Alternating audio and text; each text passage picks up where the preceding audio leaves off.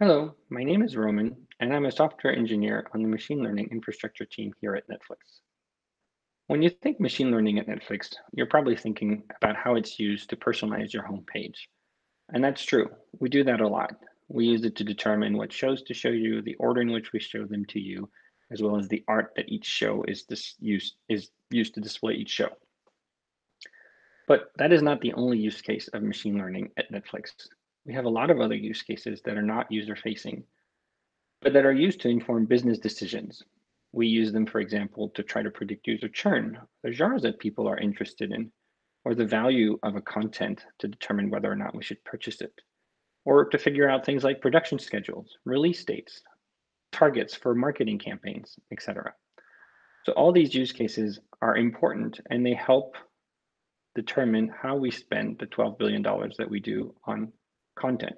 Uh, it is probably more now. This numbers from 2018. So how do these use cases happen? So for example, you have an executive Reed who has a question about something and machine learning can help inform that decision. So Reed would go to a website and type in some information. For example, Reed wants to determine the number of users that would potentially watch a movie that is being produced. Once the information is entered, it is sent to some server in the backend that then talks to some data, then some models, etc., does some computation and returns a response back to Reed. The server may also want to log this response somewhere so that it can be used later for auditing. So all this is possible today. There's nothing extraordinary about it. And for example, in Python, you could use things like Gunicorn, Flask for your server, you could use S3 to store your models and weights and other information. And you could use Kibana to store your logs. If you don't know what any of these things are, that's okay. That's the point of this talk. But just know that it's possible to do so today. So to recap, after you've extracted your data, after you've trained your model, we went over two use cases. The first one, the personalization. For those who remember, this is the Netflix prize which aimed to find a better personalization algorithm before machine learning and deep learning. Or the business critical use case where we want to produce a result as well, but it is not user facing, so it has different requirements. To be complete, there are two other cases that I haven't talked about.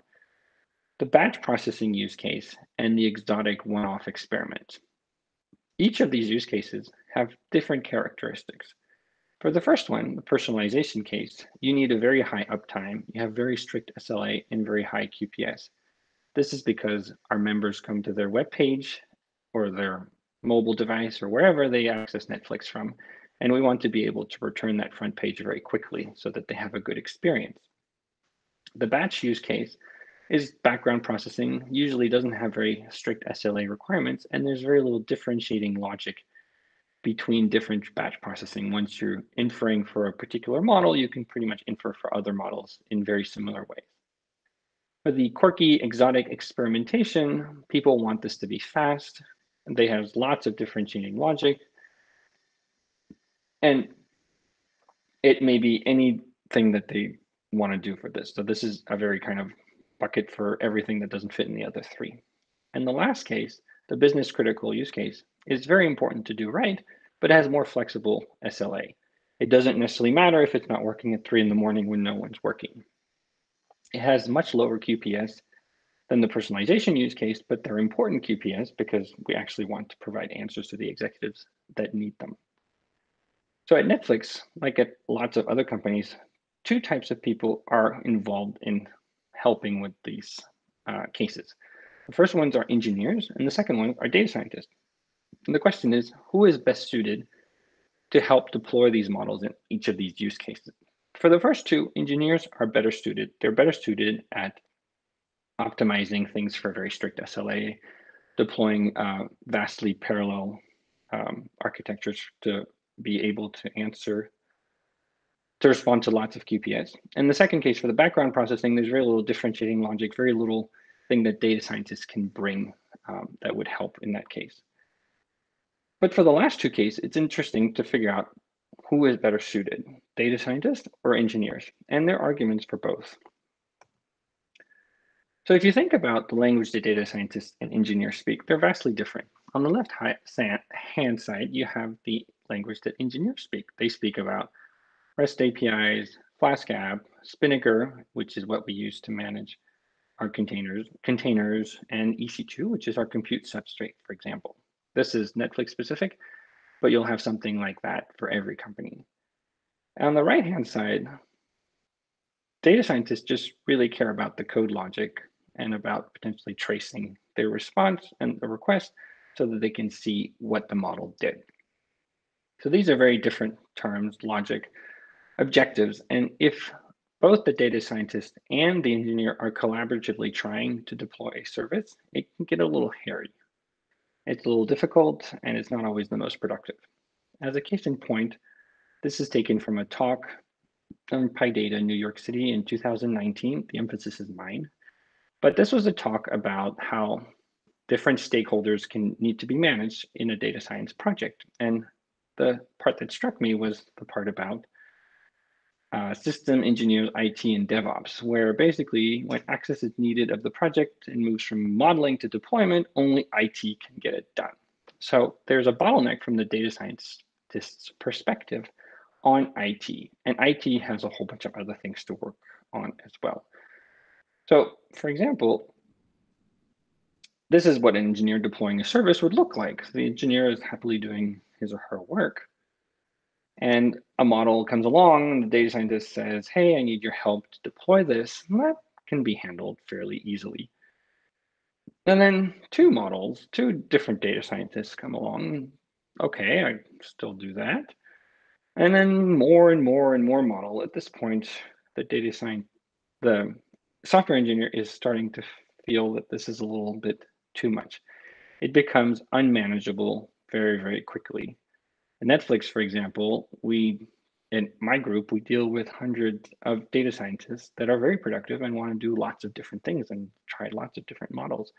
We couldn't possibly help each and every one of them individually deploy every single one of their model. On the flip side, a data scientist deploying a model might start out happy saying, okay, here's what I want my model deployment to do when I get a request and I write a little piece of code that will do the inference. That part's easy. And then it's like, okay, the function needs to be put in a server and it needs to have a API that a user can hit.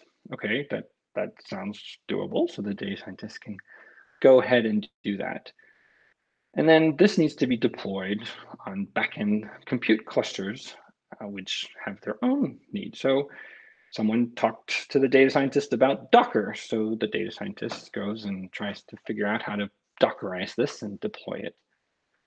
And then if the data scientist wants his or her service to be available to lots of different users, someone told them, well, you should put a load balancer and replicate your service. And that is starting to get very complicated. And then the data scientist may want to deploy this multiple times or multiple versions of the service. That is just becoming very, very difficult for the data scientist. So what's the solution to this? The software engineer obviously can't scale to provide individualized support for each data scientist, and data scientists can't be expected to know how to deploy their services in the best possible way, knowing that the infrastructure underneath them may change, may evolve, et cetera, et cetera. This is where Metaflow and Metaflow hosting come in. And the code that the data scientist would have to write for their service looks a little bit like this. So it's quite simple. It just uh, is pure Python and nothing else. No dealing with the underlying infrastructure.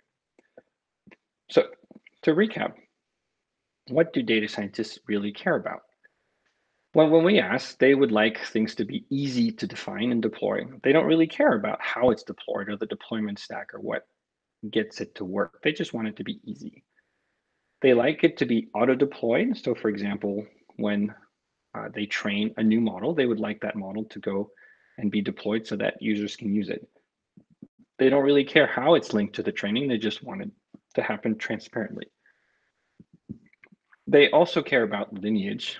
They want to know what result was produced by what model when it was queried. They don't really care where it's stored or how we track how the models are linked to the training. They just want it to happen. And they care about being able to debug their application. Uh, if something goes wrong, they want to know what happened, and they also want to understand what request produced what response. They don't really care about how we do tracing, logging, etc. They just want to have that functionality for them. So to start, I will give a quick primer on Metaflow. So Metaflow is open source and it's available at the website that you hear, see here, metaflow.org, so you can go and check it out. The hosting portion of it is not yet open source, but everything else that I will be talking about is.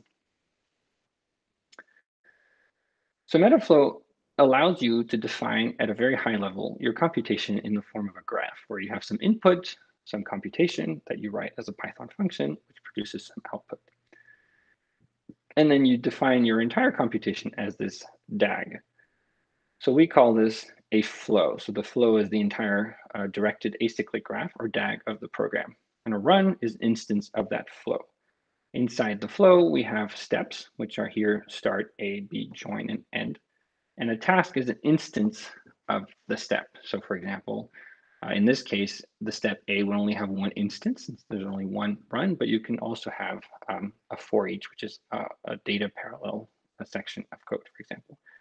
The benefits of writing your code as a directed acyclic graph is that each node is a separate, separate process that can be run either on the same machine or on different machines. So there's a natural scalability aspect to it.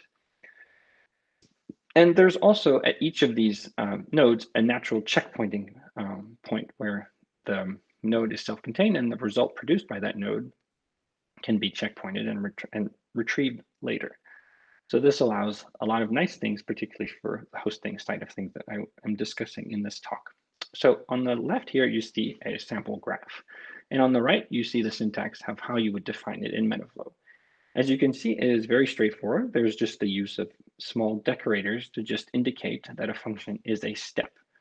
And then you link each step using the next function to tell Metaflow what is the next step that needs to be executed upon completion of that current step. So um, something that is relevant for hosting data movement. So here I will give a kind of a walkthrough of how data is stored and processed um, in Metaflow. So as the example here, I use the same graph. And here on the right, you can see that I set a value called x to zero. So x will be zero at the start step. And then um, at each of the other steps, I indicate how the value of x evolves. So we use something in Metaflow called uh, content hashing, where all the values are hashed and stored in our uh, storage system. And at Netflix, we use S3. And then we use, we basically just have a lookup mechanism to say, okay, what was the value of X for my flow run zero start step and the task ID, in this case, 639 it will just link the name with the hash of that value. So here, for example, uh, X is hashed as A4ABB6. And this continues for all the other flows. And the advantage of this is that the values are only stored once and they're lazily loaded, but they're also available at the end of each step. So for example, for the hosting side, at the end of your flow, if you have something that is called model, it is now stored in S3 and is accessible for your deployment. So now we get into hosting. There's two assumptions for hosting functions that we deploy with the system. One is that they have to be state-free. The reason we want to do this is we want to be able to provide high scalability. The second is that they're synchronous. A single request takes a reasonable amount of time. So this system does not yet support something where you would send a request and they would call you back when the response is there. In most of our cases, this is completely sufficient.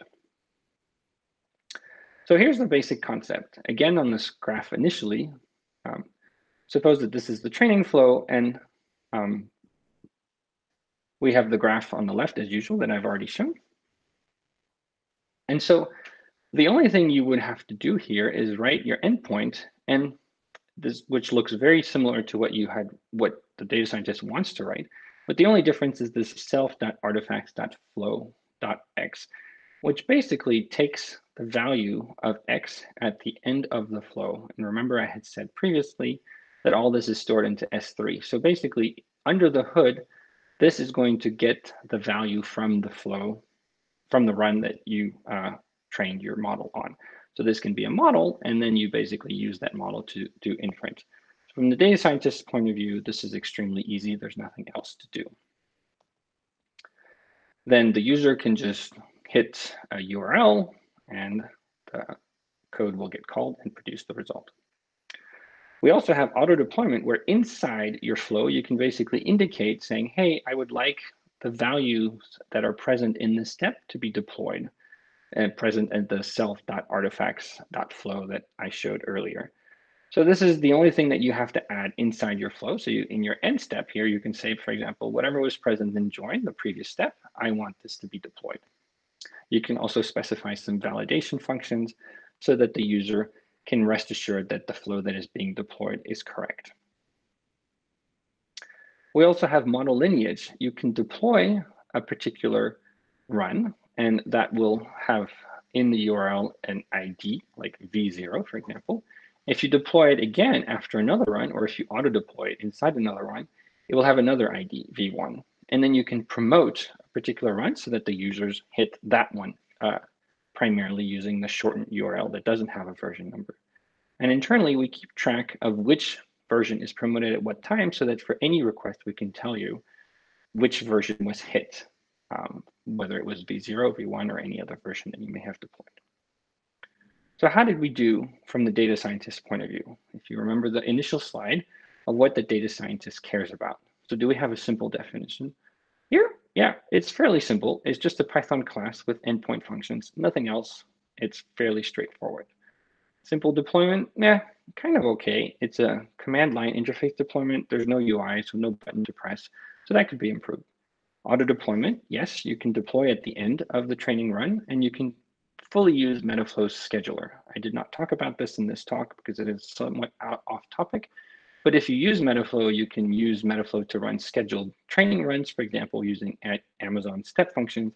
And at the end of that, it could deploy your model. Lineage, yes, all deployed versions are linked to a train model, and each request is tied to a deployed version, so implicitly to the train model. And debuggability, all requests are logged and traced, and you can reproduce them locally. The underpinning infrastructure, and this is something that is hidden from the data scientist, but we use um, an OpenFaaS derivative as the function as a service backend for our compute infrastructure. We use a backing database and a control plane to version and track the models. S3, which is Metaflow's storage infrastructure, is used to store anything that we need, and logging and tracing are, search, are logged to Elasticsearch. If you'd like to learn more about Metaflow and other topics, there is a talk tomorrow as well on the Accelerate stage at 2 p.m. Central European time, which talks about Metaflow and its availability for R. This is a fairly new feature. So Metaflow is a Python tool, but we have made it also available for R if you are an R user. Thank you very much. If you have any questions, please don't hesitate to contact us using Gitter. You can also send me an email directly and please check out Metaflow.